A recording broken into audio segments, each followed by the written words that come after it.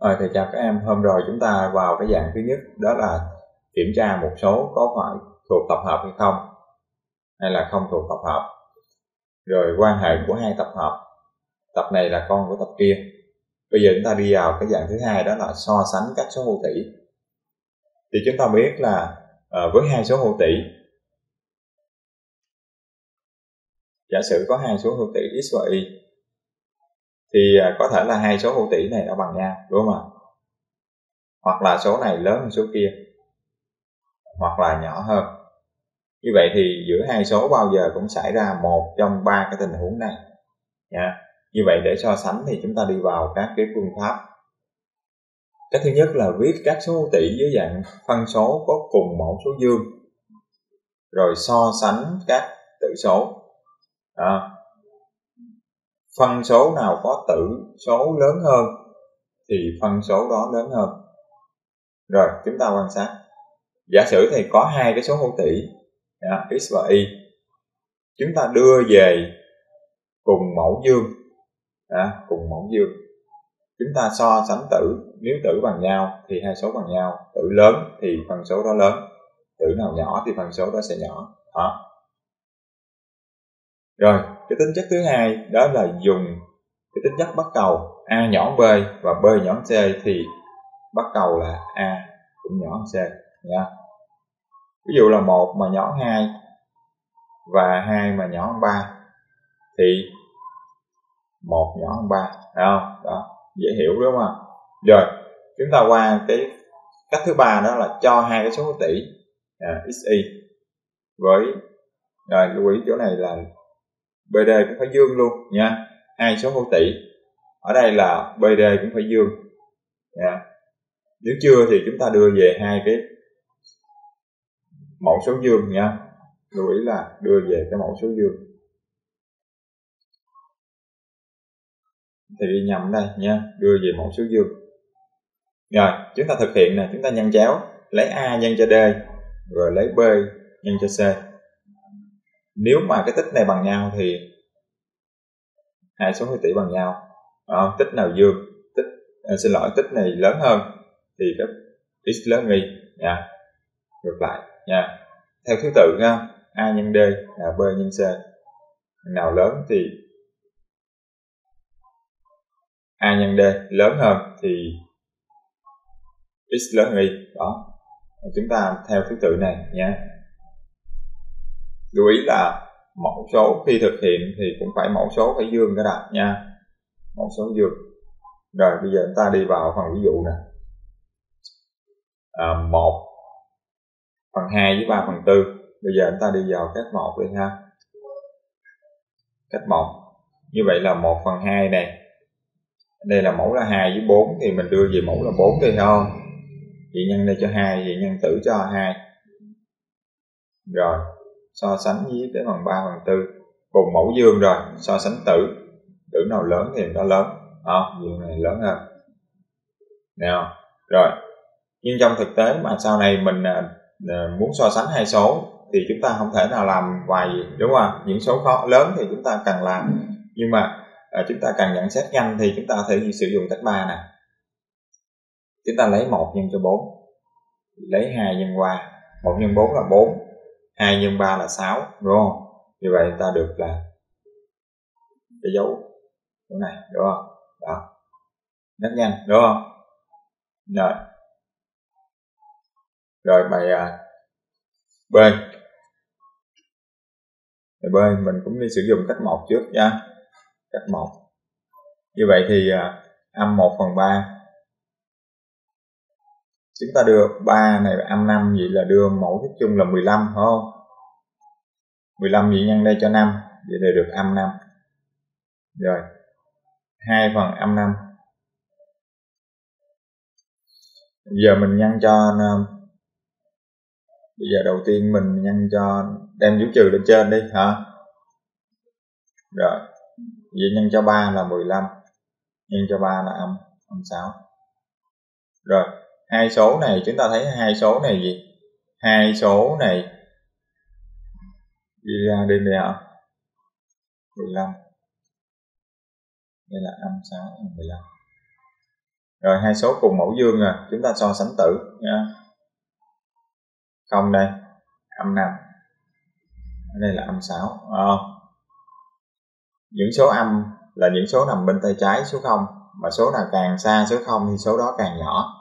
Bên tay phải nha, những số dương, số nào càng xa số 0 thì số đó càng lớn.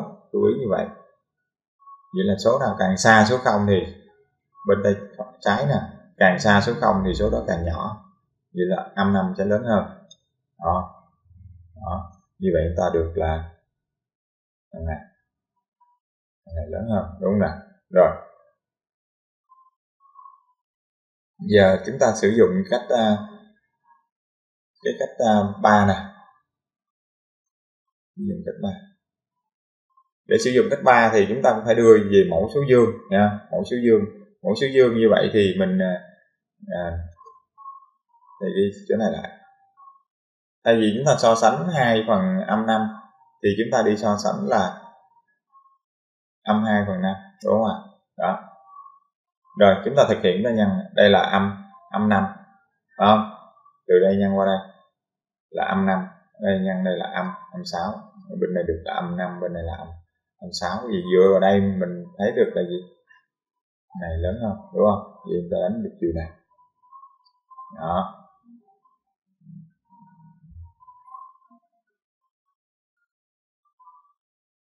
Rồi bây giờ cách um, cái câu C. Câu C thì uh, nếu ta đưa về cùng mẫu 5 phần 6 đưa cùng mẫu thì à, uh, 6 nhân 7 không? 6 7 40 6 42 đó. À, nhân cho 7 7 được là 35 đó. Rồi này là 5 phần 7 vì mình nhân cho 6 đúng không nè được là 42 nhân cho 6 thì lên nhân cho 6 là 30 đó. Vì mình thấy 35 lớn hơn 30 thì mình được là thằng này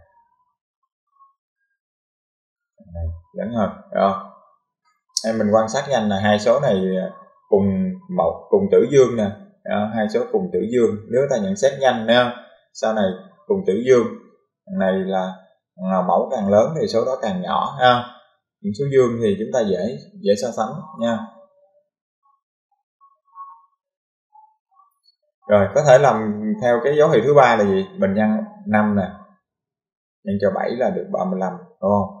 Đó đây nhân đây nhân chéo lên đây là được 30 đó mình được là 35 lớn hơn đó.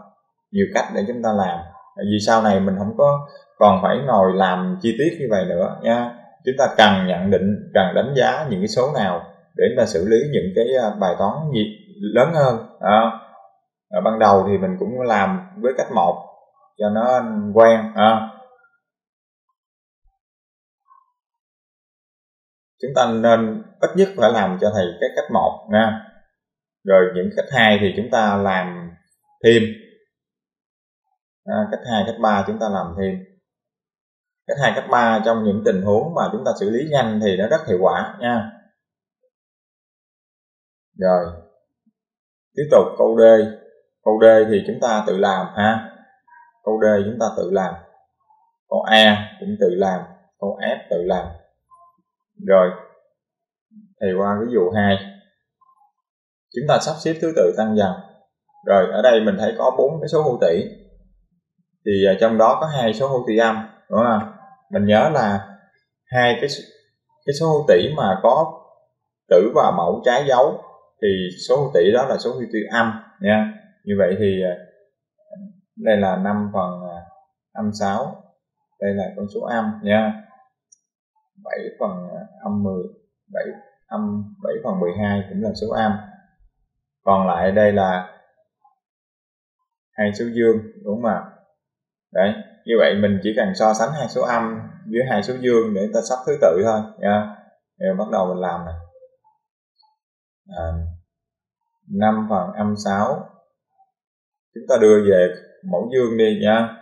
Đây là 6 đây là âm 5 đưa cái trừ lên thấy không? Rồi cái thằng này là âm 7 phần 12 xem bên này vậy là phải đưa về là mẫu thức chung là 12 vậy là 12 nhân lên 12 à, nhân cho 2 vậy là nhân cho 2 vậy là được là âm 10 rồi. Vậy chúng ta thấy là gì? Âm 7 phần 12 đó so sánh với cái số này. Cùng mẫu dương rồi tử nào lớn thì phân số đó lớn không? Như là âm 10 với âm 7 âm 10 nó xa số 0 lắm nha, xa hơn âm 7 cho nên là âm 7 dương nha, âm 7 lớn hơn. Rồi. Vậy cuối cùng mình có được là thứ tự là 5 âm 5 5 phần âm 6 rồi đến là âm 7 phần 12 tiếp. Hai cái số dương 3 phần 4 kia là 5 phần 8 thì mình đưa mẫu về 8 đúng không? Vậy nhân đây cho 2 mẫu cho 2 được 8 nhân cho 2 là 6 rồi thằng này là 8 phần 5 đó, như mình à, được là 6 lớn hơn 5 phải không? Vậy cuối cùng chúng ta kết luận là gì? Ta sắp thứ tự là gì? Cái số này trước, đúng không? 5 phần 26 rồi, đến là 27 phần 12 rồi đến là số này trước, đúng không? 5 phần 8 rồi đến là 5 phần 8 rồi đến là 6 phần 8 6 phần 8 tức là 3 phần 4 đó. 6 phần 8 tức là 3 phần 4 rồi, như vậy là mình đã sắp xếp thứ tự tăng dần.